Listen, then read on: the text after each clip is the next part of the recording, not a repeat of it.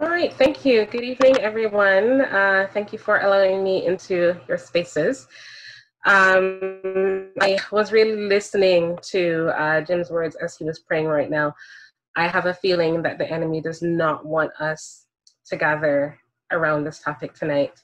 I was very prepared, all settled, had my space set up. I was actually set up outside.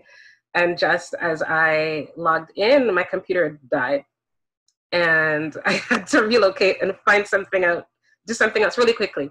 But I'm here and I am very happy to be here.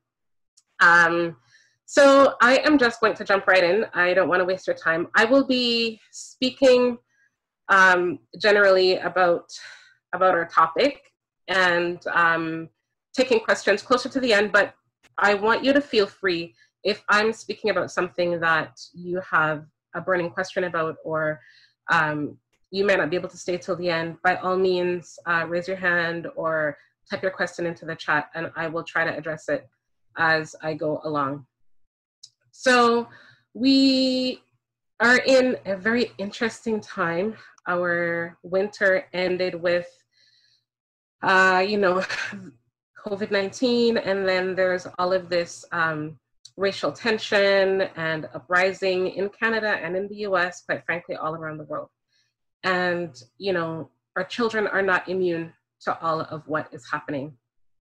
Um, but before I get started about talking uh, to the children, I wanted to sort of give a loose definition on what racism is.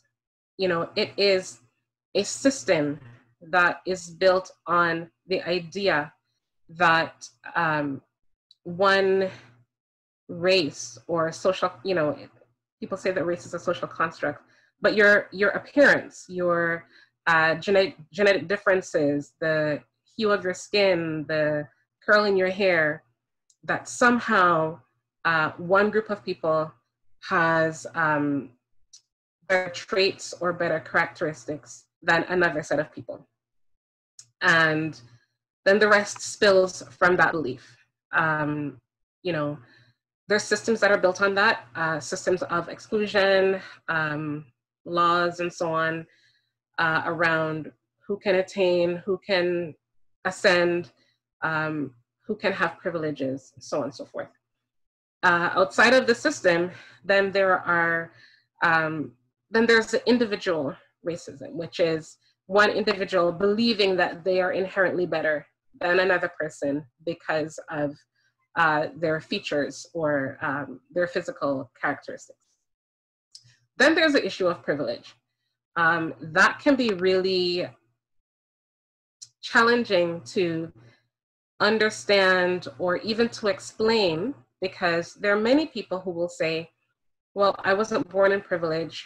I'm not rich. My family isn't wealthy. Uh, but, you know, when I was in school, they talked a lot about the systems of privilege. And what that really means is when there is something in your life that allows you to um,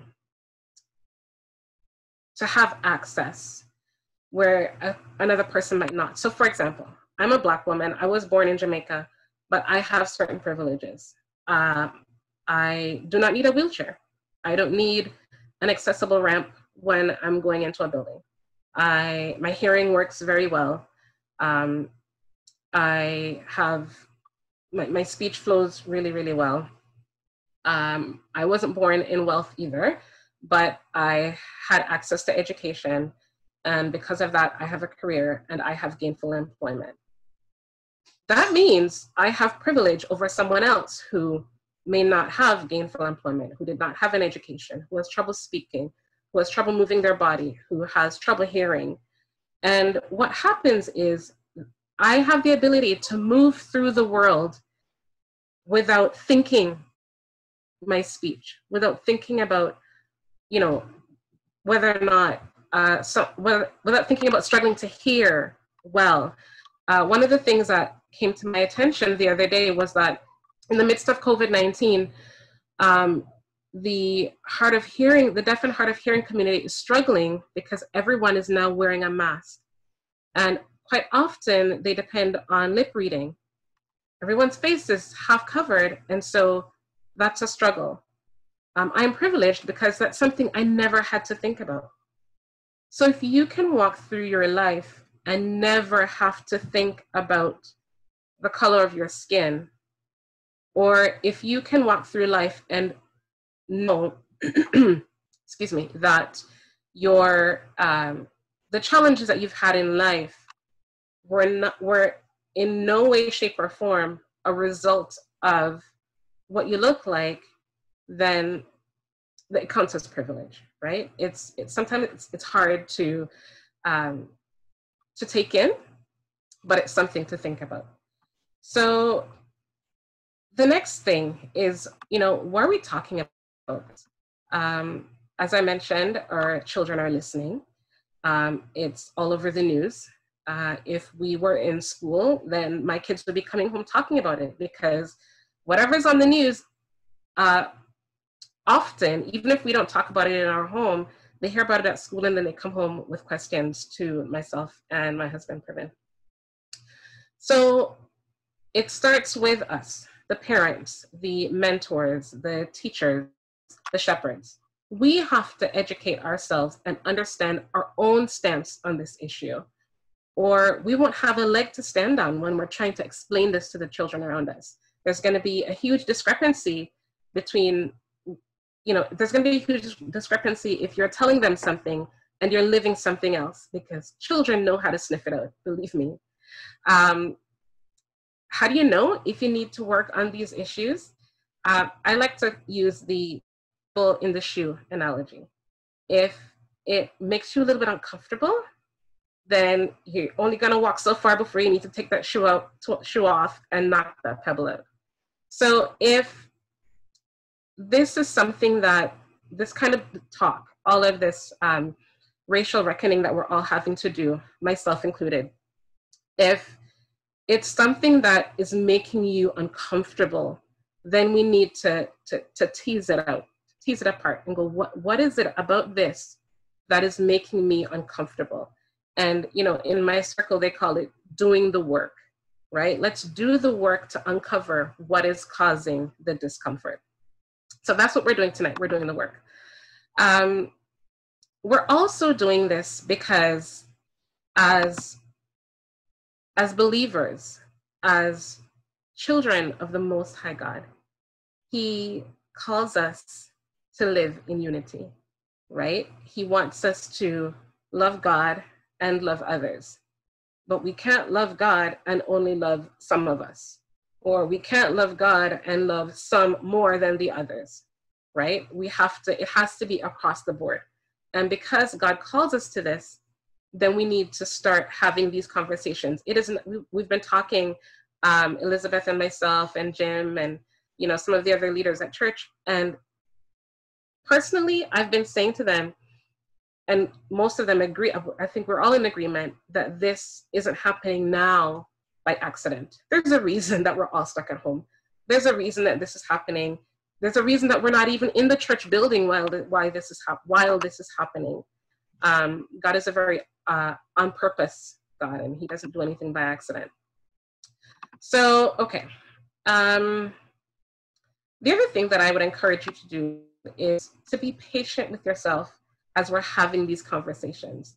There's going to be a few things that maybe you've never thought of before, because maybe it's never impacted you before, right? But there are also things here that you are doing well, right? There's as we're talking, you're probably going to be saying, mm-hmm, "Yes, I already do that." So some of it, it's really just going to be encouragement.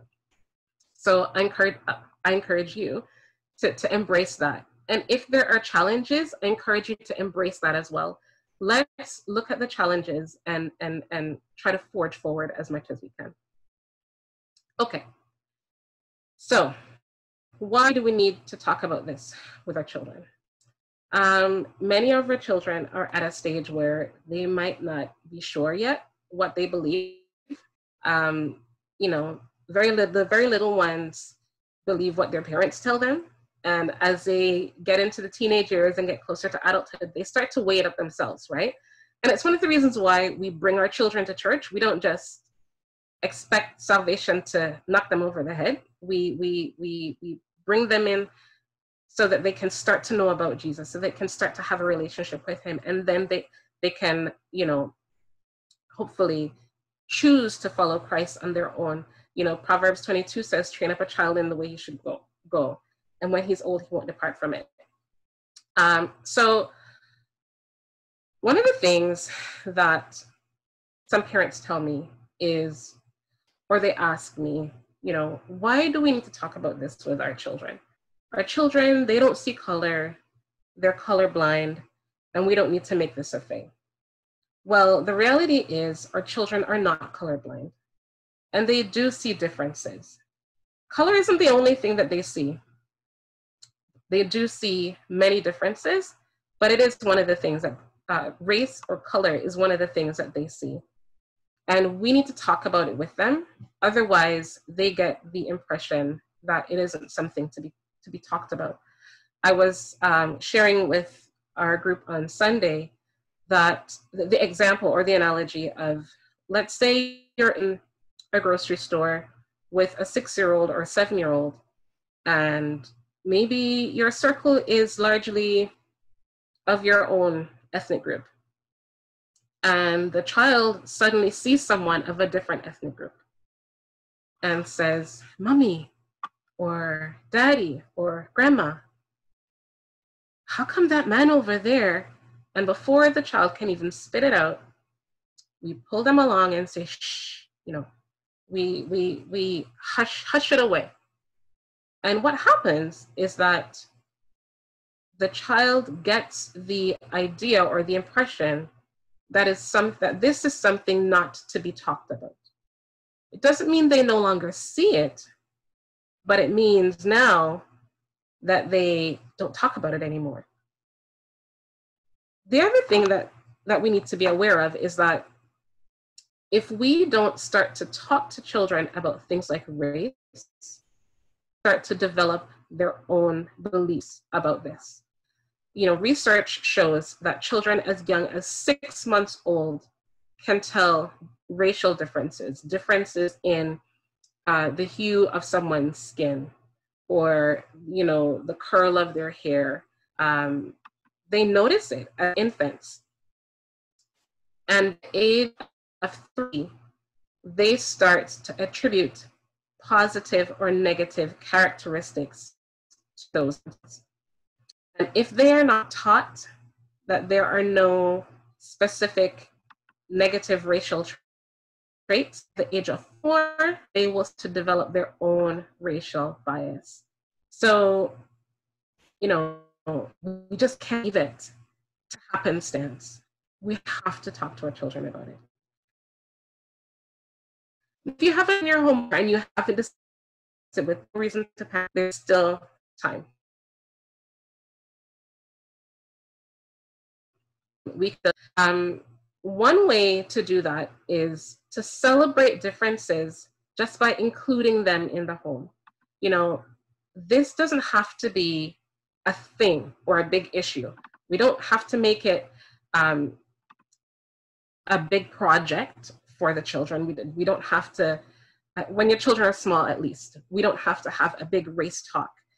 Um, it is really important, on the other hand, to celebrate, you know, that uh, children have, that different people have different skin tones and God made us like this on purpose. You know, I'll tell you a story. I share this with many people. When my older boy, Keenan, he's now eight, when he was in senior kindergarten, he came home from school and forgive me if you've heard this story before. He came home from school one day and one evening we we're getting ready for bed and he said, Mommy, how come I'm not Peach? I haven't taught him the word white to attribute to Caucasian people, but he uses the term peach because that's what he sees, right? How come I'm not peach? And I said, Well, what do you mean by that? And he said, Well, my teachers are peach, my principal is peach, the shepherds at church are peach, people at daycare are peach. How come I'm not peach? And it broke my heart Um, but what I ended up doing, uh, I believe that the Lord just sort of downloaded something in my brain. And I spoke to him about the wonderful differences. We're, we're as parents, we're in, very involved in their school, and we're familiar with many of the children in this class. And so I was able to speak to him about the differences um, in terms of the children in the classroom. So, you know, this person, um, so and so isn't Peach, and so and so isn't Peach, and so and so isn't Peach. And what do you think about their skin? Well, it isn't as dark as ours, it's kind of in between. And what do you think? And do you like it? And so we were just able to talk about the differences and the beauty in um, the multitude of skin tones in his classroom and in his school.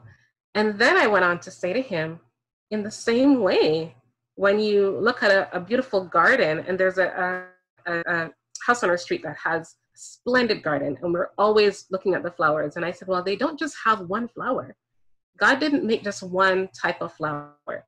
He made tons and they're all different shapes and sizes and heights and colors and the petals are different and the sizes are different. So we started talking about the differences in people and how some people are taller and some people are shorter and some people are thinner and some people are wider and some people speak with an accent and some people don't. And that God made this beauty on purpose. And so I encourage you to have, well, it doesn't have to be a conversation like this, but similar conversations. And after I had that conversation with him, he was fine. He didn't need to learn anymore. And he was he was only about five or six years old. So that's the other thing that I wanted to mention. When you're having these discussions with your children, we have to ensure that it's age specific. So we're not going to say the same thing to a 16 year old that we'll say to a six year. A six year old really needs this much information, right? Six year old needs more a 17 year old might say to you, What's happening on the news? Why did they do that to that man? And it is certainly okay to say, I really don't know. But it is more important to say, Tell me how you feel about it. What does that mean to you? How is it making you feel? Right? And you can have discussions of uh, social justice and what it's like for certain people to walk in walk in those shoes, so to speak, right? Um, it is really important as your kids get older, as your nieces and nephews, your grandchildren, your mentees, as they get older, to tease more out of the conversation. We can't just stop it as, well, that's how it is. Children need hope, and they're looking for us to give it to them. The other thing that I wanted to mention is that this conversation isn't it isn't dichotomous. It isn't black and white because god didn't just make black people and he didn't just make white people. Um, there are tons of um, racial differences and other kinds of differences right? Differences in height differences in, in hair texture differences in how we speak right? And as I mentioned, those things ought to be celebrated. But if we're not careful, then those of us who um, who are not black or who are not white might feel like I don't have a place, right? And what about those of us who come from a different continent? What about those of us who are mixed? What about those of us who feel like they don't fall in either category? You know, um, it's really important to address that.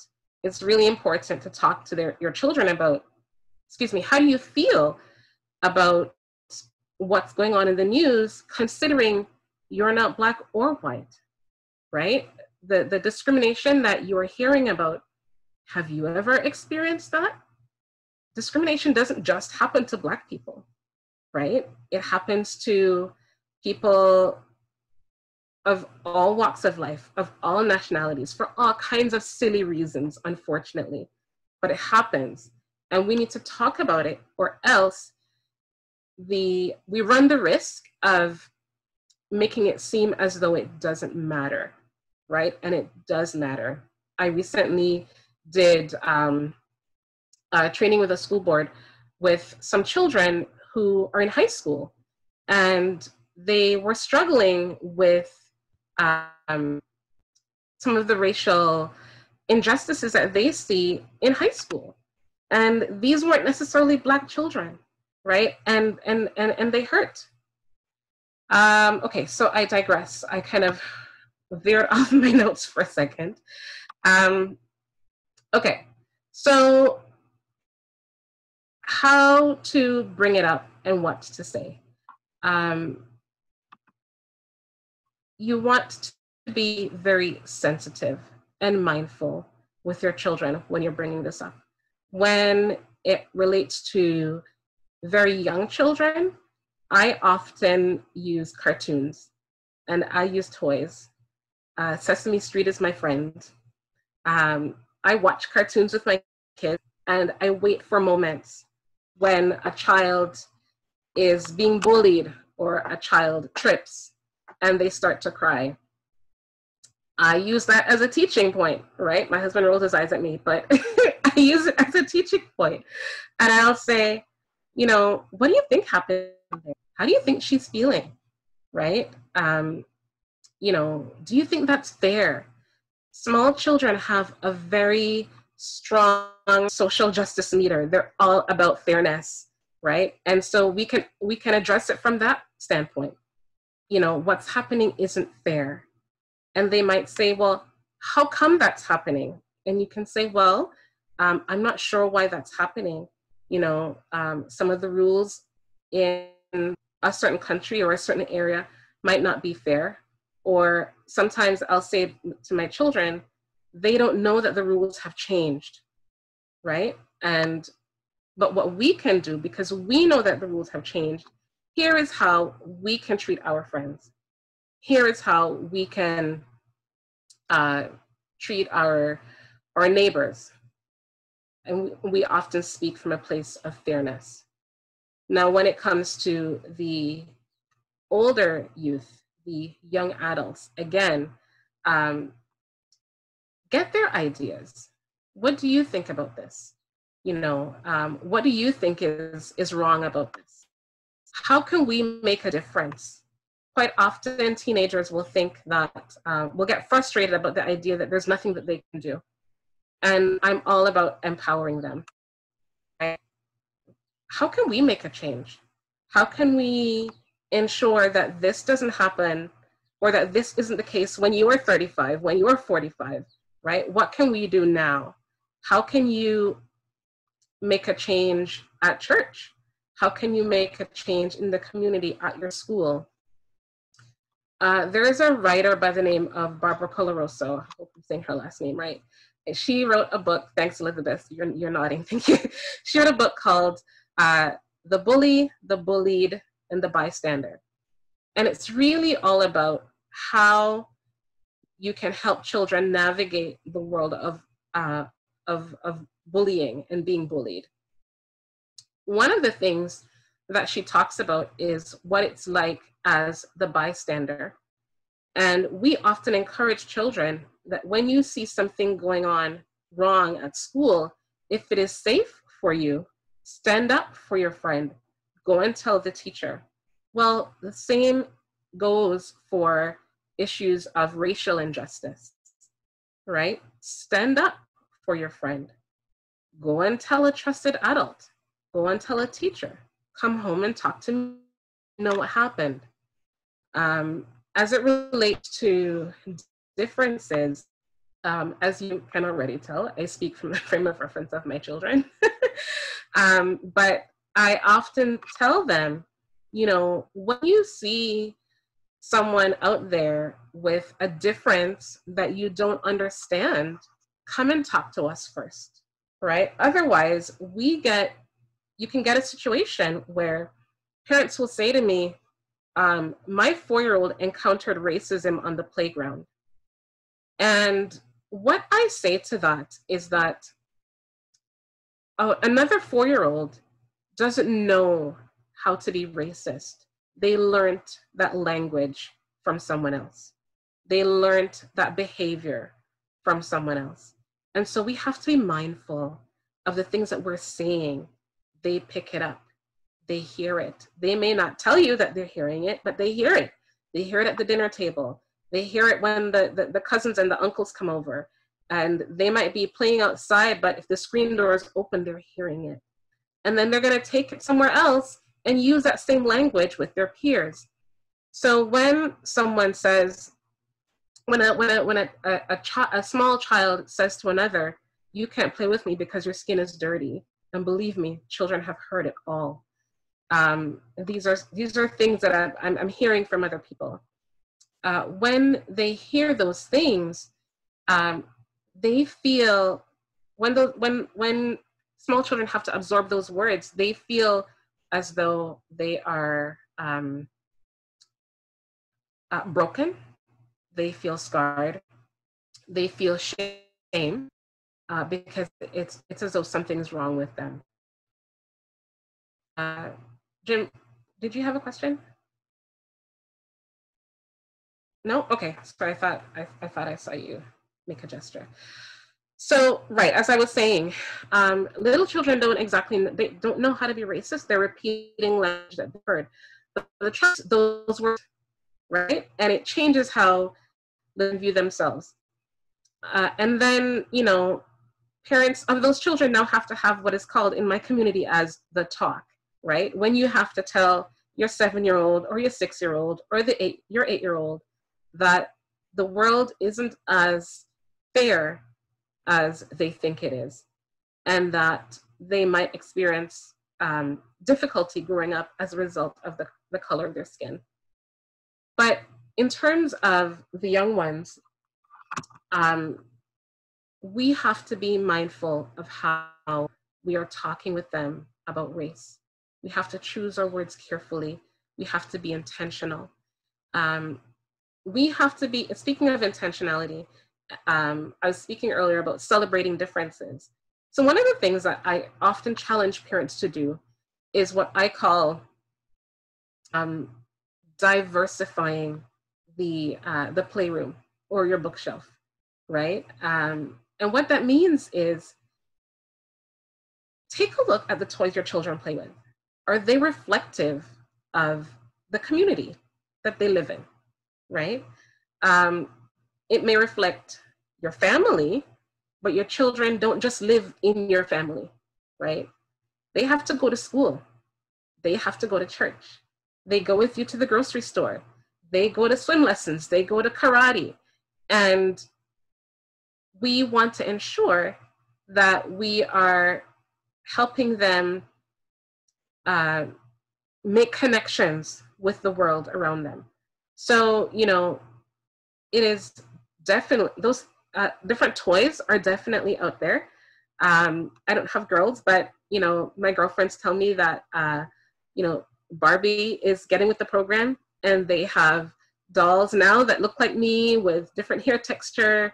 They have they have dolls in wheelchairs. They have dolls of different height and width, and um, you know dolls that look like they are from Southeast Asia. They they just have dolls from all over the place. And I encourage you, you know, if you don't see this in your toy store, ask about it because the the managers or the owners of these stores they have the um, and, and again i'll use the term uh, privilege of not having to think about this right? It doesn't it's because they it's not because they mean harm. It just it just means that they don't have to think about it. But parents we should be thinking about it. And so diversify the toys. Diversify your bookshelf. What do the main characters in the books of your children, what do those characters look like? Are all the characters blonde haired and blue eyed? Right?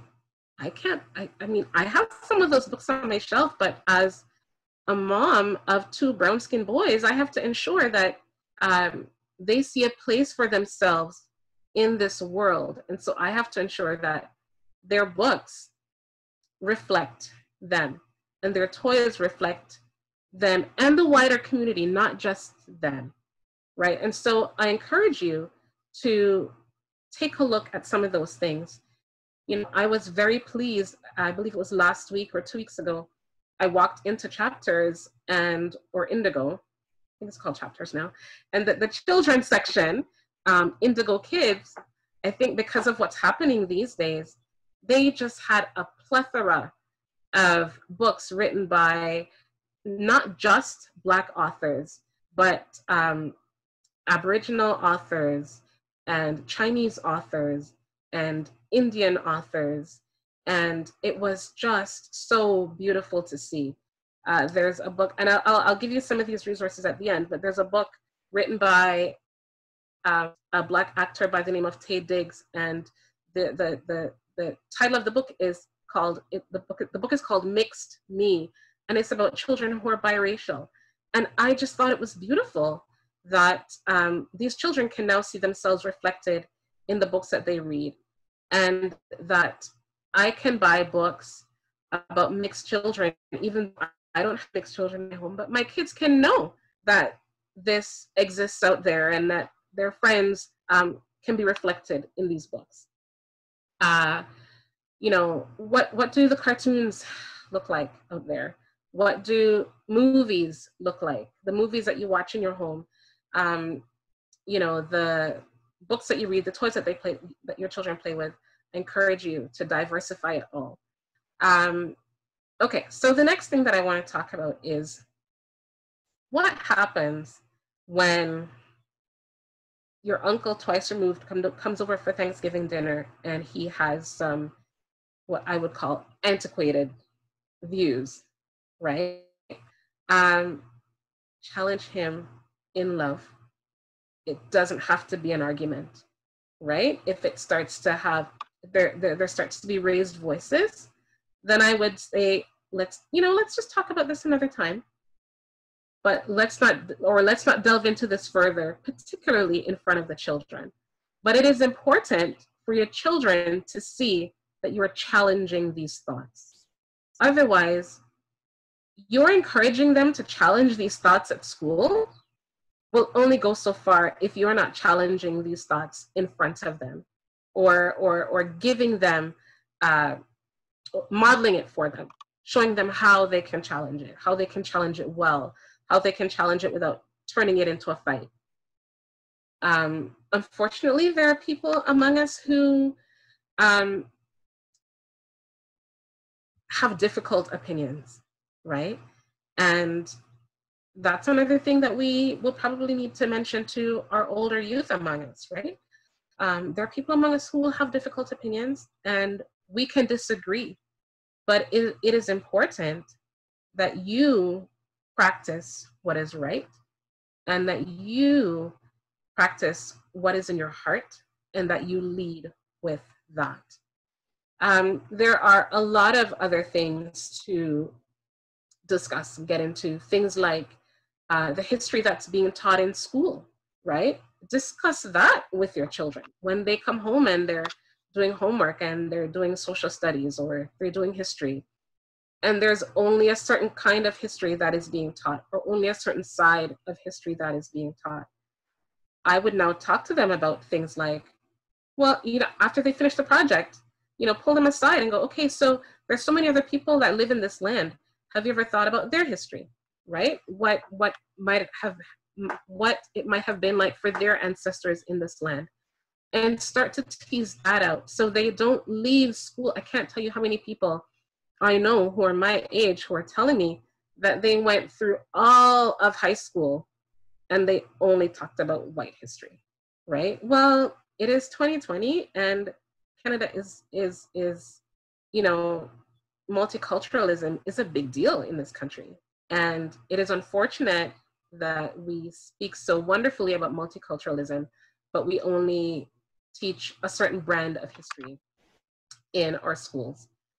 Um, another way of discussing uh, race with your children without turning it into an issue or project is, you know, and I know we're in pandemic land these days and restaurants aren't always open, but if you're going to the Mexican restaurant or you're going to get Chinese food, you know, you're going to um, get, I don't know, Jamaican food, talk about where this food is from. Talk about the people. Talk about the rich culture. Um, go to cultural festivals, right? If you go to the food truck festival, right, and you're getting, I don't know, tacos, or you're going to um, Taste of the Danforth, talk about the culture, right? And and and and discuss where people are from. You know, pull out a map, pull out the globe, look at look, you know, look at where people are from. You know, when I was a little girl, the map was made in such a way that North America was right in the middle. That is troubling in itself, right? It's very um, North American centric, right? Um, but North America is not in the middle of the world. and I'm so glad that different maps are being made. These are some of the things that we need to think about and um, discuss and um, talk about with our children. And it is okay to unlearn with them, right? It is okay to say, you know, daddy was brought up believing so and so and so, but now I'm learning and I'm so happy to be learning it with you. Or teach me about these these things that you're learning, right? Um, those of you who have teenagers probably know about the term woke, being woke. It's all about being woke, which means being hip to um, the uh, cultural relevance or social relevance in our times and being culturally or socially aware.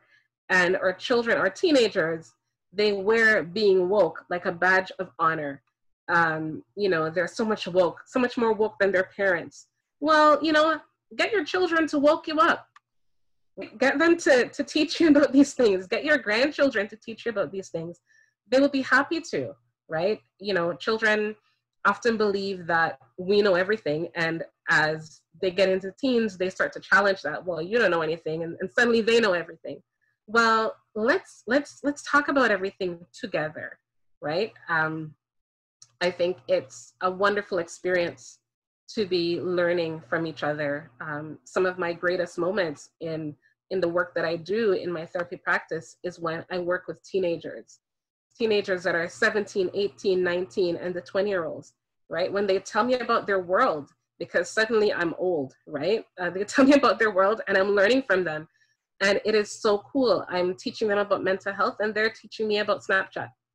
Um, and we talk about current events and they're hurting they cannot believe that this is the world that they live in. They cannot believe that this is the world we're leaving them, right? And as I was speaking to Elizabeth last night, she mentioned the idea that it is our hope as adults that our ceiling will become their floor, which means that as we learn more and more, we're hoping that that will be the base of our, for, for our children, that they, they will start from that and they will grow by leaps and bounds. I'm hoping that my children, when they're in their 40s, that they're changing uh, policy and rewriting law and um, challenging the framework that we live in, challenging our systems. Um, it is really, really important. Uh, you know, I, I'm just feeling prompting of the Holy Spirit as I, I teach my children the Lord's Prayer and we talk about um, you know, we ask for the Lord kingdom to come um, here on earth as it is in heaven. Well, I don't believe that there is a heaven where some people get a bit of it and some people like there is no separation in heaven by race. we don't get a certain amount of heaven because we look like Jim, or we get a certain amount of heaven because we look like Kevin, or we get a certain amount of heaven because you look like me with curly hair and glasses, or or because you speak with an accent.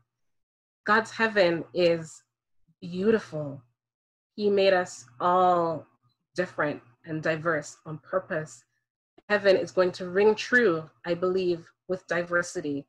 And if the heavens um, are going to be that way, wouldn't it be amazing for Earth to reflect that? Um, I feel like I'm missing stuff, so um, I'm gonna give my mind a minute to catch up. So I would entertain any question, and I hope that I am able to answer them well. so just a reminder, if you don't want to ask your question verbally, you can just send it to me in the chat and I'll read it out. Or you can put your hand up by clicking at the bottom of your screen. There's the reactions button and there's one, if you watch my, oh, actually, what do you want? Should we do that for if you have a question? Or is there a different spot for it, Jim?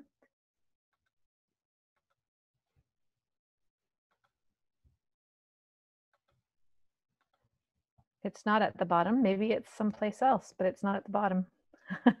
so you can do that if you want, or you can just type it in the chat and I'll read it out. Yeah, I don't see the uh, raise your hand feature on here, so I'm not I sure what either. that's that's about. Um, if if you're willing to, um, assuming you're going to raise your hand, just unmute your your mic and let's hope that there's no cross interference and mm-hmm. uh, go for it. Or type it in the chat. Yeah. You can type it in the chat to Elizabeth yeah. and yeah. she can read it out. And I'll read it out anonymously.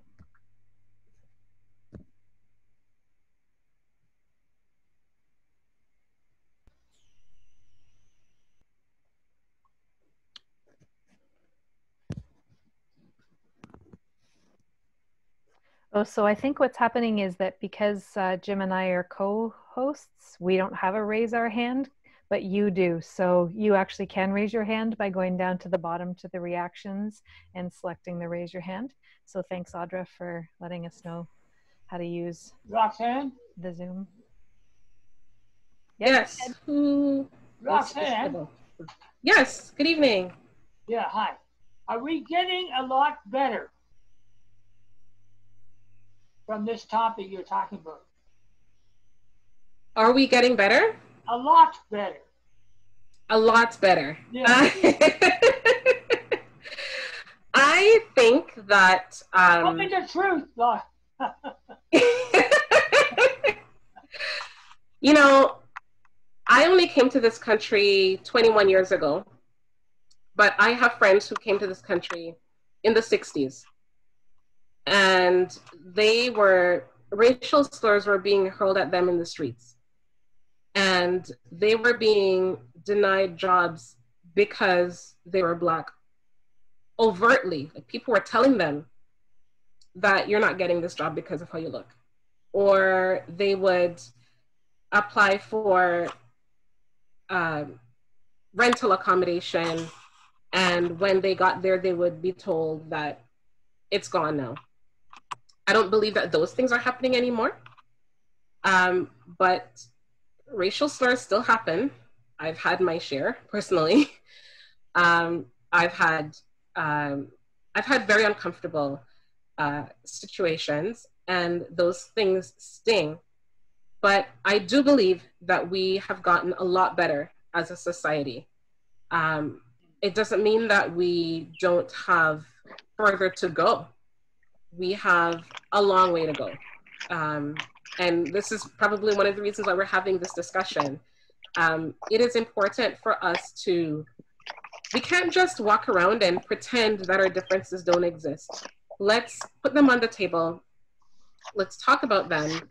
Um, people have different, um, we all have different experiences in this world. And, you know, I had uh, just a case in point, um, you know, things may not be the same as they were in the 60s, but in uh, last fall, a friend of mine who is, uh, she's a black woman, she's actually quite wealthy, and she's a single woman, but she was registering her child for school. And um, because there was no father name listed on his paperwork, and presumably, because she was a Black woman, they asked her if she would need subsidized daycare. And she was just taken aback by that. And we have to recognize um, the things that are ingrained in the back of our minds. We have to start to unlearn some of these things and really sit with ourselves and ask ourselves the difficult questions. How is it that I have a family and my children are 13 and 15 and we have no friends who are not white? Those are some questions that we need to ask ourselves, right? How come we, for example, my eight year old um, plays hockey. He's the only black boy in the team right? He loves sports. And we tried to avoid hockey for the longest time because I'm from Jamaica and I do not do winter sports. but he loves it. And he took to the ice like um, PK Subban. He was just all for it.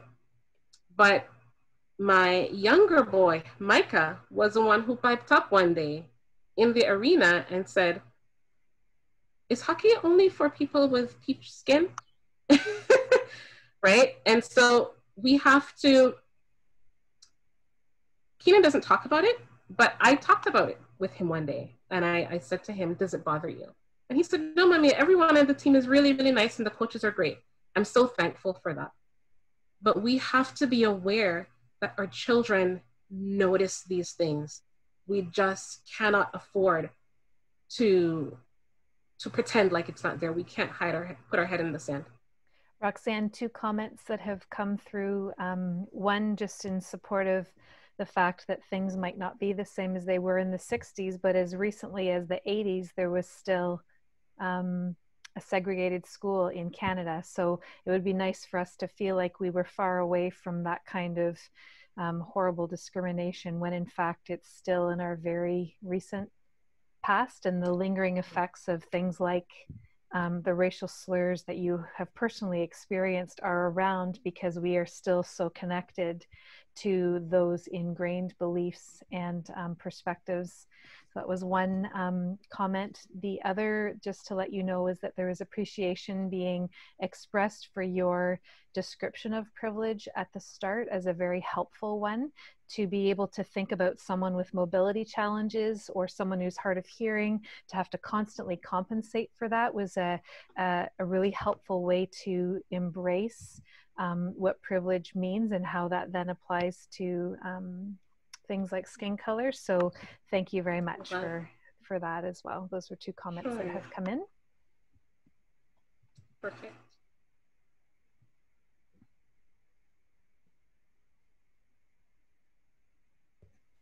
Any other questions? Um, I think I think somebody sent me uh, a question. I hope you don't mind me. Um, it so you you referred to when you're when your kids were talking about this. Um, peach is a good word. Uh, peach um, to, to refer to white people, and the question was, why do you think peach is a good word or color to call white people?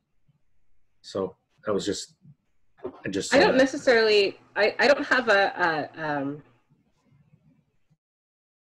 I don't think of it as right or wrong. That's just how my children um, observe it because in our home, we don't necessarily talk about black and white as a way of categorizing people by race. Um, I actually have a, today I was wearing sunscreen and it is sunscreen that's formulated for dark skin. It's actually called black girl sunscreen. My younger looked at it and said, why are you wearing this? And I said, well, it's sunscreen for mommy. And he said, well, you're not a black girl. because we because he just looks he looks at his skin and he says well this is brown right? And he wouldn't look at elizabeth and say well she, she, because she, she isn't white right? When you look at a white sheet or a white pillowcase that wouldn't compute for him. And so they actually, just I'm use so fair skinned it might actually be a good description but that's another topic. Uh, they just use the colors that they see. And while we talk about differences in our home um, and we talk about uh, diversity in our home we don't use terms and maybe that's maybe that's something that i probably should do i don't know i'm learning just like the rest of us. Um, and i'm happy to um, if you guys have thoughts about that, I'm happy to think about it as well. Um, but um, I don't necessarily think of it as a, a right thing to do. Um, I just, I often reflect the language that they choose. and if it's if it's if it's incorrect i will definitely tell them like if they are um, calling people names or or being unkind then that's definitely something that we correct but as it relates to how they observe things um, i tend to sort of leave it as is Somebody commented th- that we can thank Crayola crayons for uh, the peach colored skin as being for white people. Um, there was another question, um, Roxanne, um, th- with reference to the comment about wanting our floor to be our kids' ceiling. What can we, the church, do differently to make sure our children surpass this current generation on the issue of inclusion and equity for all? Well, you know, um, as much as we're talking about how to talk to our children about this, I think that we could learn a lot from our children about this. Um, it does my heart so good, so much good after church to into the gym and watch our children play together. It is the most beautiful sight. Um, they play with each other with reservation they play with each other without hesitation. There is no, let's gather in this corner because we're white over here, and let's gather in this corner over here because we're black. Um, there's none of that. They just connect. Give me a basketball, and we're a team, right? And I think that, and, and while I don't necessarily see uh, uh, segregation, I hate that word, I, I dislike that word. I don't see that in our church, but there are there are moments where people feel uncomfortable, um, and I think that our children are already using our ceiling as their floor. They are launching off and making connections with each other. Um, some of Keenan's best friends go to Forestbrook and they don't look like him. He has a very healthy obsession with Caleb Pierce. He um, came to uh, uh, day camp one year, camp. That was, and I think that what we do right now is ensure doing it right. We're have first of all the, the uncomfortable um, discussions. We are talking about um, what is potentially making people um, uncomfortable. We are talking about how we can move forward. We are talking about things like privilege. We're talking about things like racism. We are um, dismantling. You know, there are systems that are set up outside of our church. And I think God is now calling us into this space and saying to us, um, we need to be a part of the systemic change as believers, as Christians. And what we now need to do is, um, you know, as I, I, I challenge some of my Caucasian friends to, you know, call out racism when you see it, if it's safe for you to do. Um, challenge people who are who are king the, the the the uncomfortable jokes. You know, when you are at a table and there's only people who look like you challenge that. Um, how come there's no one here who reflects so and so, right? Um, make space for other people. If you are in a place where you can, you know, hold the door open, if you are a doorkeeper or a gatekeeper, then hold the gate wide open for other people to come in because for many people that door is shut, right? Sometimes in some spaces, you know, with all of what's been happening, I don't know how many of you are on social media, but um, there are a lot of companies who took to social media talking about um, being open to diversity and inclusion.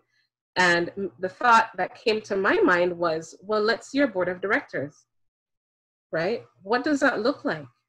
How can you make the change so that it's not just at the front door? How can you make the change goes up? right? Our children need to see that reflected. And um, risk of going off in a tangent, um, what I often speak to is representation and permission. And what I mean by that is when my child comes home and says, none of my teachers look like me, that's a problem for me. And, you know, I'm a bit of an advocate, so I've already spoken to the school board. but um, what that says to the children is you can't be a teacher, right? It says there's no room for you there. And if they see leaders and none of the leaders look like them, it then says you cannot be a leader. You know, um, I'm not sure how many of you know this, but a, a number of months ago, I left my employer and I'm now in private practice. And on the very last day of work, my children came into the office and we were getting boxes together and so on. And my um, my manager walked past my door and sort of waved at the kids. And when he walked away, one of my children turned to me and said, That's the boss, right? And they had never met before. And I said, Yeah, how do you know that? And he said, Well, he has peach skin. And I was floored because to me, maybe I was overthinking it, but that now says, well, you can't be a boss, or mommy can't be a boss, or daddy can't be a boss because none of us have peach skin, right? And so representation, it gives permission. It says to your child, you can be that. Or it says, um, when there when there's diversity in the space in the leadership space it says when you get there if, if the child isn't black when you get there then it should be diverse.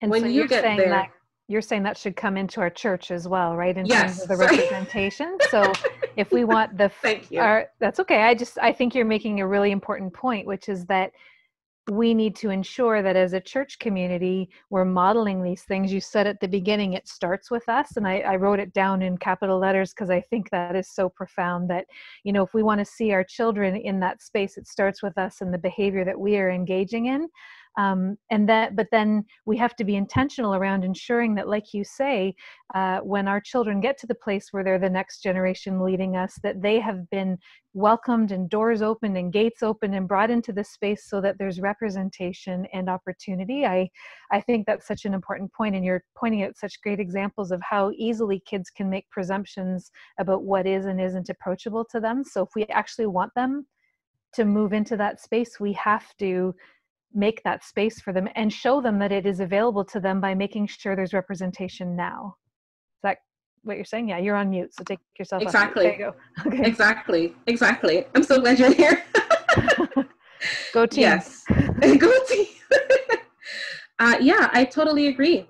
And you know, when we, you know, where this is this this session is about, you know, it says how to talk to your children about racism. Whether or not we actually say the words, we are talking to them about it mm. right? We're creating an environment that screams it. And they are listening with their eyes and their ears. They're observing it all and they're taking it all in. And we so another... we need to go, ahead, ahead, finish. No, go ahead. I'm just telling you another question after. Okay, I was just saying we need to be mindful of what it is that we're showing them. Amen. So um, could the topic, the question is, could the topic of microaggressions be a way to discuss race with children? And um, what do you do when you, if you experience microaggressions or if your children experience microaggressions, what do you do? So maybe could you so, what is a microaggression for everybody sure. just in case and then how it would be handled? Sure. So a microaggression is, um, it's a little hard to explain, but I do my, I'll do my best it's it's really covert racism. It's racism that's kind of uh, it sneaks in there so subtly. That's why it's called micro. It's and and the thing is is that those of those who um, engage in or or or um, uh, a loss for words. Those who engage in microaggressions are not people who would consider themselves or that we would consider to be racist people. But we don't have to be racist people to do racist things.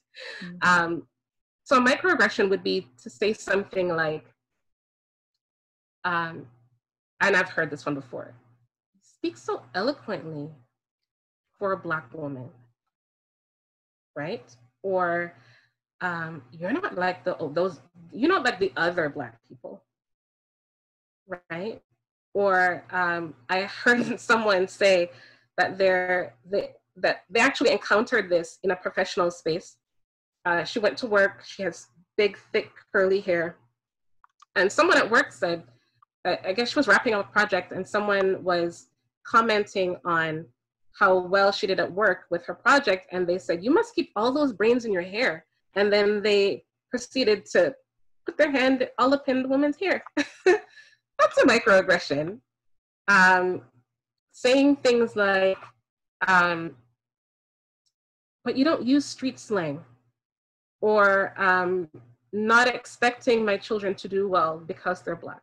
Those are microaggressions. Or, you know, what um, uh, the school boards have been doing, which according to the government of Ontario, they're now going to put a stop to, which is streaming in high schools, which means that uh, some children do um, academic classes or advanced classes, and other children do applied classes.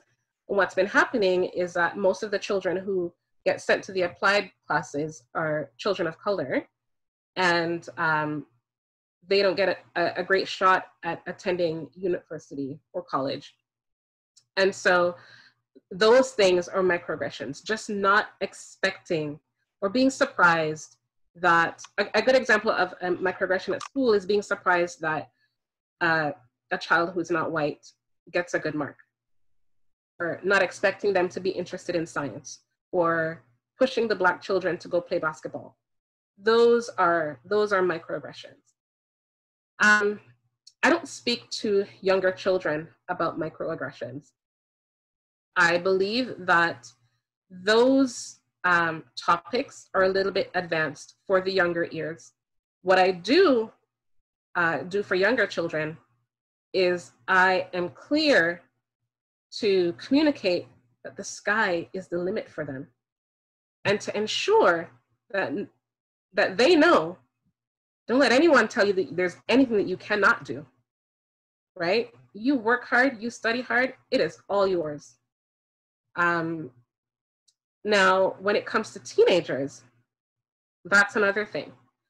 Um, you can introduce the concept of microaggressions, be careful to explain it well, and ask them if they have ever experienced that. Or say to them, have you ever experienced just being uncomfortable by things that people say or do as it relates to your appearance or um, how the expectations of you, what they you, and the teenagers will be, you know, sometimes they might talk about it, but once they get going, they're quick to tell you about all the things that are happening at school, right? Um, I had one young lady tell me the other day that even we, were, we actually were talking about microaggressions, and she was talking about the television. And she said to me, I believe that there are a lot of microaggressions that come through TV. And I said, Well, what do you mean? Tell me about that. And she gave me such a lesson. She said, You know, when I watch the Disney Channel, none of those shows ever have more than one Black person ever. And so I started a new school last year. And when I walked, I walked in, she, you know, she's a fairly confident young lady. And she said, I walked into school and I was to start, you know, walking up to people and introducing myself. And I saw a group of girls and there was a black girl standing amongst them. And I was very hesitant because I thought, well, they already have one black friend. And so that is how those subtleties None of those things are inherently racist. None of those things are inherently discriminatory. But um, when these are things that our young people are seeing every day, right? It starts to become a part of what they believe. and then these are limiting beliefs it starts to they start to to, to limit who they think they are you know there there's uh, again around microaggressions there's a thing this idea around um, i'm not sure if you guys have heard the term this idea around the angry black woman um, it, there's this caricature that has been devised that I that black women are either nurturers or caretakers, or they are um, just angry. They're the woman who's gonna snap the neck and you know make a big fuss about it, anything.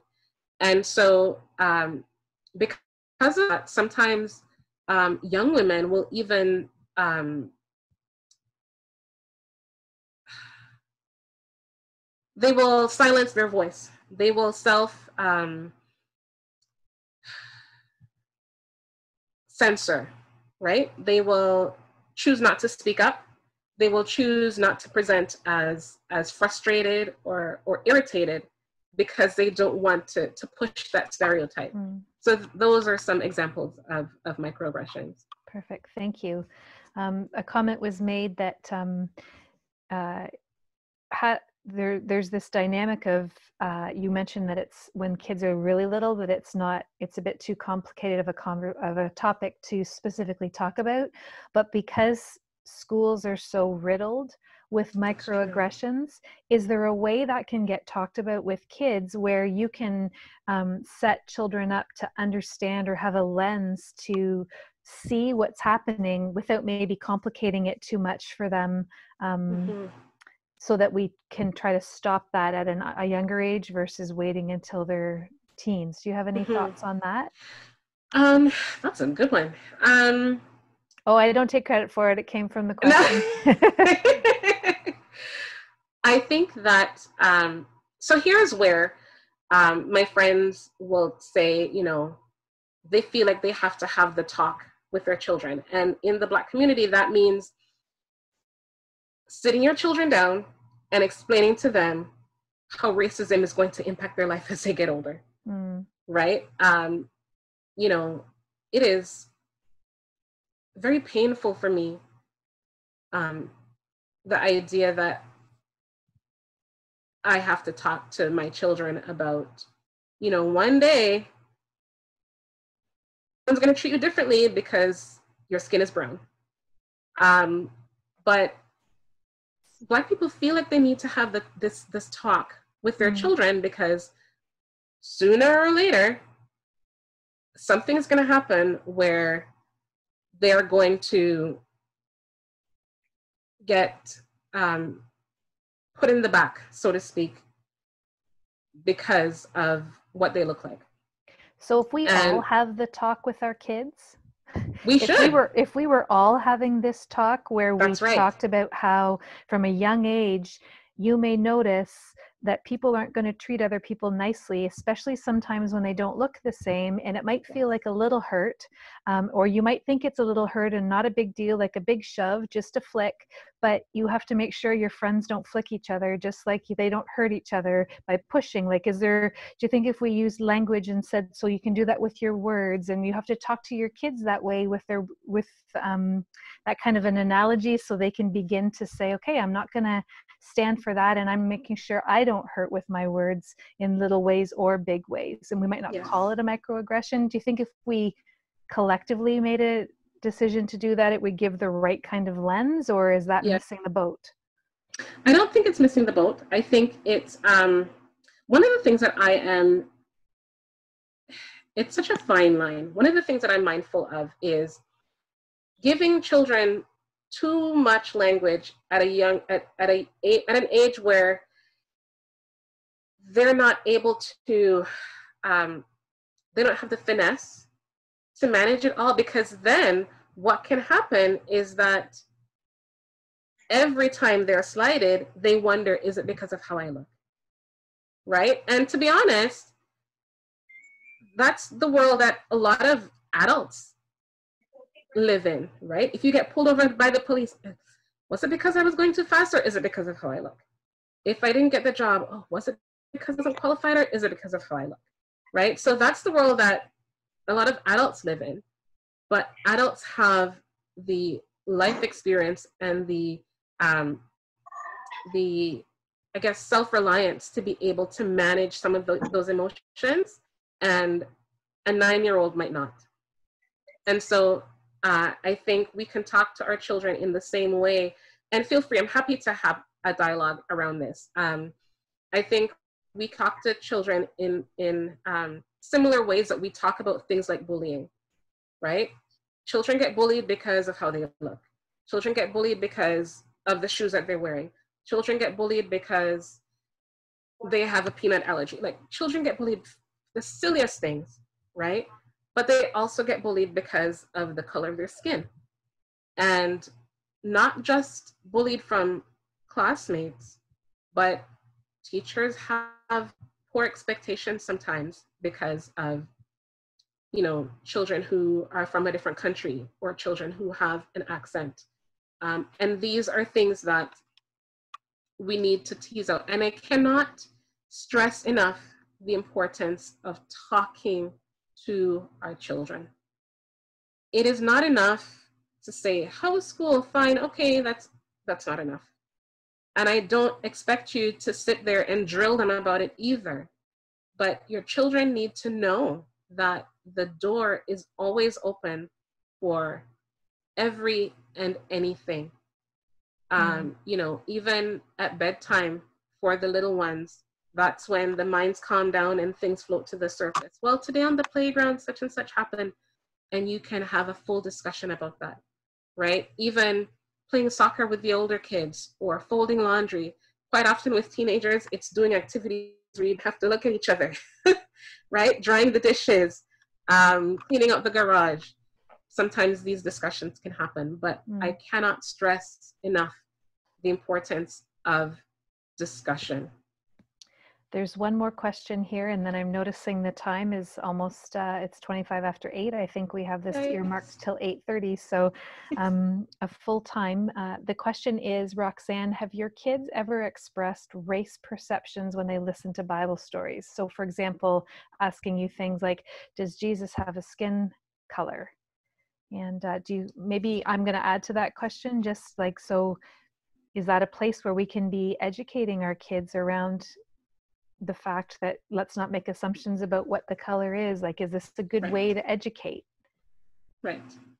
So my kids have not asked about that but um, the the children's bible that we use for our children is and it just happened to be so that it has people with lots of different hues right? So they don't really ask about that. Um, however there is one um, thank God for Jesus. There's one story in the Bible that we use a lot, and it is um, the story of the man who got beat up and the the the Good Samaritan. Somebody help me. The That's Good it. Samaritan. thank you. you. Got it. And um, my older child Keenan, he is very sensitive to social justice, and he asks lots of questions and um, the question that he asked was, how come those people didn't help him? He was hurt and he was bleeding because in the book he's bleeding. he was hurt and he's bleeding. And those people, some of those people are from the church me. How come they didn't help him? And I said, you know, I use that as a, a teaching point. and I said, they didn't help him because he was from a different place. And sometimes in our world, there are people who don't like each other because they're from different places. And I, then I look to him and I'll say, I said to him, what do you think about that? Do you think that's fair? And that took on another discussion. And we were able to just tease it out, right? Um, just around, uh, no, that's not fair. And what do you think about this man? This man wasn't from his country and he helped him anyway. That's what I would do, mommy. right? And so able to have some of those discussions when we are um, reading and talking and watching cartoons and drawing and you know coloring i'm going to color my person blue can he be blue of course he can be blue you know let's talk about all the different people who have different color like there's so many options there's lots of different ways to talk about things with the children. But specifically, my children, they have not yet. They have not yet asked about whether or not Jesus has a specific color. Um, and you know, to be honest, if they did, I would ask them if it mattered. He loves us because of who we are. He made us like this on purpose. And if he made us, then why wouldn't he love us how he made us? Just how he made us. It doesn't matter what he looks like. That's what I think. That's awesome. Thank you.